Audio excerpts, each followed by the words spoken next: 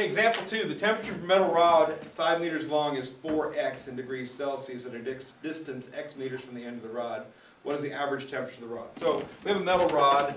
You don't have to draw the metal rod to be able to do this. I'm just going to draw it just for the ability to see what's going on. So there's our metal rod, and it's it's metal, and it's hotter the uh, x meters from the end. So let's say this is the end of the rod here. So this represents zero meters from the end of the rod, and this is five meters from the end of the rod. Okay.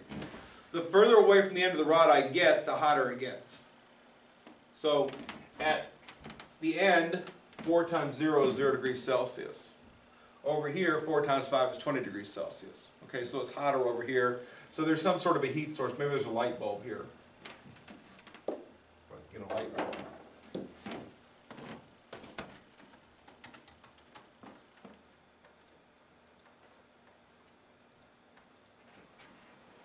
That'll do. We have a light bulb right here. And the rod is next light bulb, so the light bulb is heating up the rod. There we go. So over here it's hotter, and it's metal, so it conducts heat, so the heat goes through, but all, all the way over here doesn't make it all the way there, so it's zero degrees Celsius. That's what's happening. So what they're asking us, is they want the average temperature of the rod. So obviously, it's 20 degrees here, it's zero degrees there. All right, and um, 4x is the equation, the f of x that we're looking for. All right.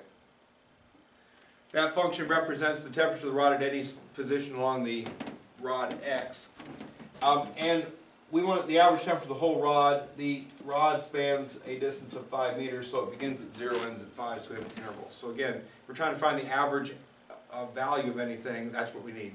We need a function, we need an interval. Once we have both those pieces of information, the average temperature, I'm gonna say T sub average, for average temperature, is one over five minus zero, integral of zero to five of four x dx.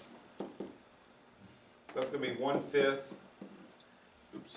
If I integrate four x, I'm gonna get four x squared over two, which is two x squared. From zero up to five. Uh, five squared is twenty-five times two is fifty.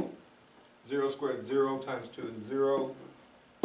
One fifth of fifty is ten degrees Celsius. If they had a more elaborate function that represented the temperature, let's say the temperature of the rod is uh, x squared plus four x plus five or something like that, all of a sudden now it's gonna vary a little bit more differently, so, I mean, it seems like zero at the end, twenty, the other end, divide those by two, you get ten. That's just because it's kind of a uniform temperature situation. If it was less uniform, then you wouldn't get that, just the average of the endpoints, so keep that in mind.